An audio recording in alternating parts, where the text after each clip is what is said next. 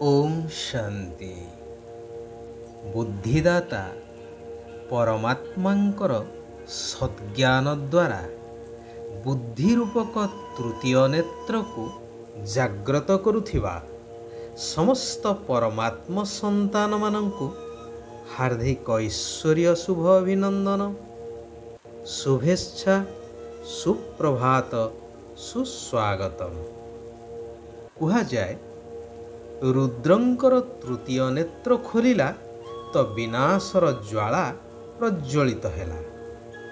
ତେବେ ଭଗବାନ ଯିଏ ସାରା ବିଶ୍ୱର ରଚୟିତା ଦୁଃଖହର୍ତ୍ତା ସୁଖକର୍ତ୍ତା କଲ୍ୟାଣକାରୀ ସେ କ'ଣ ଏପରି କ୍ରୋଧାନ୍ୱିତ ହୋଇ ହିଂସାର କାର୍ଯ୍ୟ କରିପାରିବେ? ନା ଏହାର ଆଉ କିଛି ରହସ୍ୟଯୁକ୍ତ ଗହନ ଅର୍ଥ ରହିଛି ଯେପରି ବର୍ଣ୍ଣିତ ଅଛି ମହାଭାରତ ଯୁଦ୍ଧରେ ଭୀମଙ୍କ ପୁଅ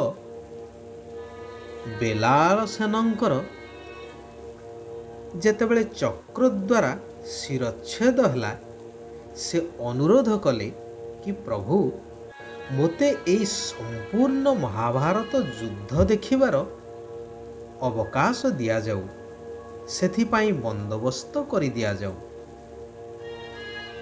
ତାପରେ ମୋର ମୃତ୍ୟୁ ହେଉ। ତାହା ହିଁ ହେଲା। ବେଲାଳ ସେନାଙ୍କର ମସ୍ତକକୁ ଏକ ଉଚ୍ଚତମ ଖମ୍ବ ଉପରେ ରଖି ଦିଆଗଲା। ଲଢ଼େଇ ଚାଲିଲା। ଯୁଦ୍ଧର ଟିକିନିକ୍ ସବୁକିଛି ଖବରକୁ ଏକାଗ୍ରତାର ସହିତ ମନେ ରଖୁଥାନ୍ତି। ଯୁଦ୍ଧ ଶେଷ ହେଲା। କୌରବ କୂଳ ବିନାଶ ହୋଇଗଲା। ପାଣ୍ଡବମାନଙ୍କର ବିଜୟ ହେଲା। ପାଣ୍ଡବମାନେ ବସି ଆତ୍ମବିଶ୍ଳେଷଣ କରୁଥାନ୍ତି। ବେଲାଳସେନଙ୍କୁ ପଚରାଗଲା କି ଏଇ ଯୁଦ୍ଧରେ ଶତ୍ରୁ ପକ୍ଷର ଅଧିକ ସୈନିକଙ୍କୁ କିଏ ବଦ୍ଧ କରିଛି। ଅର୍ଜୁନ କହିଲେ ମୁଁ ଶ୍ରେଷ୍ଠ ଧନୁର୍ଦ୍ଧର ଅନେକଙ୍କୁ ମଧ୍ୟ ମୃତ୍ୟୁର ଦ୍ୱାର ଦେଖାଇ ଦେଇଛି। ବେଲାଳସେନ ନିଶ୍ଚୟ ମୋ ସପକ୍ଷରେ ମତ ଦେବେ।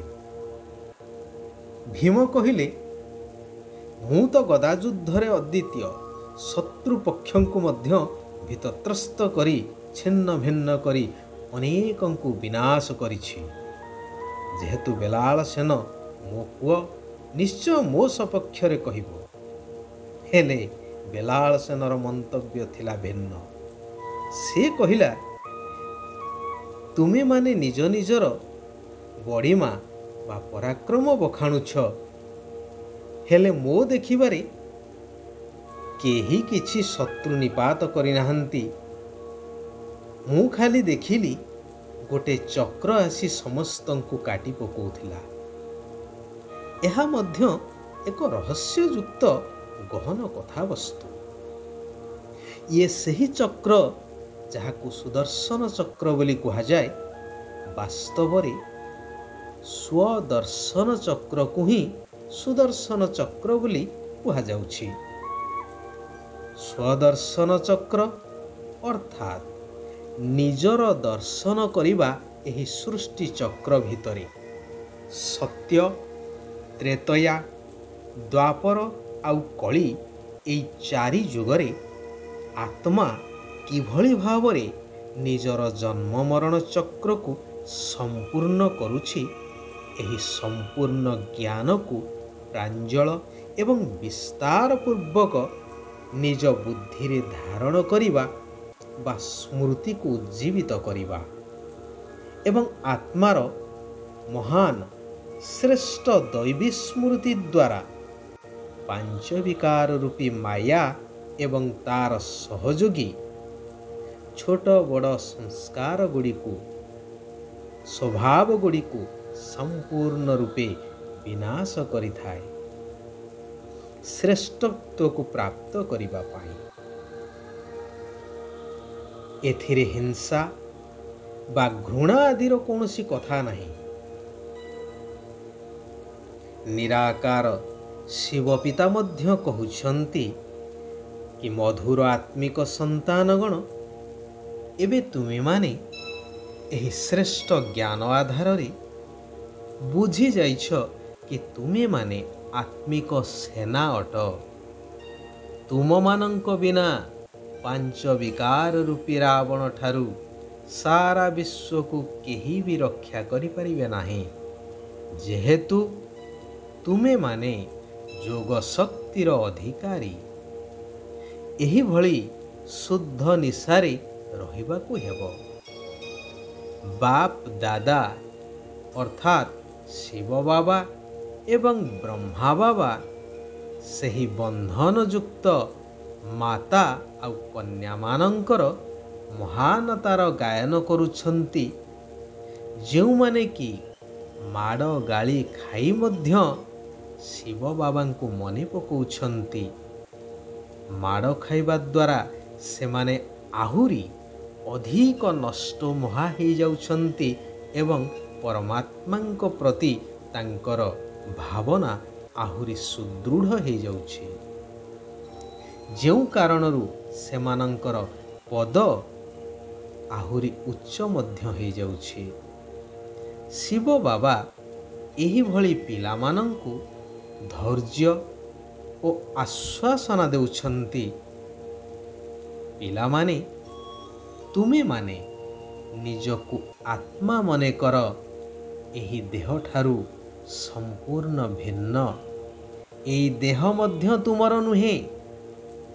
ତୁମେମାନେ ଶିବ ବାବାଙ୍କର ହୋଇସାରିଛ ତେଣୁ ତୁମମାନଙ୍କର ଅବସ୍ଥା ଧୀରେ ଧୀରେ ମଜବୁତ ହେଇଯିବ। ମାୟାର କୌଣସି ବି ପରିସ୍ଥିତି ତୁମକୁ ହଲଚଲ କରିପାରିବ ନାହିଁ। ସତ୍ୟ ଏବଂ ବିଶାଳ ହୃଦୟବାନ ଆତ୍ମାଙ୍କ ଉପରେ ସାହେବ ଅର୍ଥାତ୍ ଭଗବାନ ଶିବ ବାବା ସର୍ବଦା ସନ୍ତୁଷ୍ଟ ରହିଥାନ୍ତି। ସେଥିପାଇଁ ଶ୍ରୀମତ ଆଧାରରେ ସର୍ବଦା ଶ୍ରେଷ୍ଠ କର୍ମ କରିବାକୁ ହେବ। ଧ୍ୟାନ ଦିଅ ଯେପରି ତୁମ ଦ୍ୱାରା କୌଣସି ଭ୍ରଷ୍ଟ କର୍ମ ନ ହେଉ ଯେହେତୁ ତୁମେମାନେ ଏବେ ଶ୍ରେଷ୍ଠାଚାରୀ ଦୁନିଆକୁ ଯାଉଛ ଶ୍ରେଷ୍ଠାଚାରୀ ସଂସ୍କାର ବା ଦୈବୀ ସଂସ୍କାର ଧାରଣ କରି ନିଜର ହୃଦୟକୁ ସ୍ୱଚ୍ଛ ରଖିବାକୁ ହେବ। ଏଇ ଶରୀର ତ ଯେପରି ମୁର୍ଦ୍ଦାର ଅଟେ ତେଣୁ ଏହାର ଅଭିମାନକୁ ତ୍ୟାଗ କରି ସମ୍ପୂର୍ଣ୍ଣ ନଷ୍ଟ ମହା ହେବାକୁ ପଡ଼ିବ ଯାହାକୁ ଗୀତାରେ ମଧ୍ୟ ବର୍ଣ୍ଣିତ କରାଯାଇଛି ନଷ୍ଟ ମହା ସ୍ମୃତି ଲବ୍ଧା ଶିବ ବାବା କହୁଛନ୍ତି କଳ୍ପ କଳ୍ପର ବିଜୟର ନିଧାର୍ଯ୍ୟକୁ ସ୍ମୃତିରେ ରଖି ସଦା ନିଶ୍ଚିନ୍ତ ସ୍ଥିତିରେ ରହୁଥିବା ନିଶ୍ଚୟ ବୁଦ୍ଧି ବିଜୟୀ ହୁଅ। ସ୍ୱୟଂ ପରମାତ୍ମା ଭଗବାନ ଯାହାକୁ ସାହାଯ୍ୟ କରୁଛନ୍ତି ତାର ବିଜୟ ତ ଅବଶ୍ୟମ୍ଭାବୀ ତେଣୁ ଏହି ନିଶ୍ଚୟ ଏବଂ ନିଶା ସେମାନଙ୍କୁ ନିଶ୍ଚିନ୍ତ କରିଦେଇଥାଏ ସର୍ବଦା ଖୁସି ରୂପକ ଭୋଜନ ଦ୍ୱାରା ଆତ୍ମାକୁ ତନ୍ଦୁରୁସ୍ତ ବା ସୁସ୍ଥ ରଖିଲା ବାଲା ନିଜେ ସନ୍ତୁଷ୍ଟ ରହିବା ସହିତ ଖୁସିର ସମ୍ପତ୍ତିରେ ସମ୍ପନ୍ନ ହୋଇ ଖୁସିବାସିଆ ସ୍ଥିତିରେ ରୁହ ଆଚ୍ଛା ଆଜି ପାଇଁ ଏଇଠାରେ ଆମେମାନେ ବିରାମ ନେବା ଆସନ୍ତାକାଲି ପୁନଃ ସେହି କଲ୍ୟାଣକାରୀ ପରମାତ୍ମାଙ୍କର ଆଉ କିଛି କଲ୍ୟାଣକାରୀ ମହାବାକ୍ୟକୁ ଆଲୋଚନା କରିବା ନିଜ ଜୀବନରେ ଧାରଣ କରିବା ନିଜେ ବଦଳିବା ସହିତ ସାରା ବିଶ୍ୱକୁ ବଦଳେଇବାର ଶ୍ରେଷ୍ଠ କର୍ତ୍ତବ୍ୟ କରିଚାଲିବା ସାରା ବିଶ୍ୱର ଆତ୍ମାମାନଙ୍କର କଲ୍ୟାଣ ହେଉ ସମସ୍ତେ ସୁଖ ଆଉ ଶାନ୍ତିର ଅନୁଭବ କରନ୍ତୁ। ଓମ୍ ଶାନ୍ତି। ଓମ୍ ଶାନ୍ତି। ଓମ୍ ଶାନ୍ତି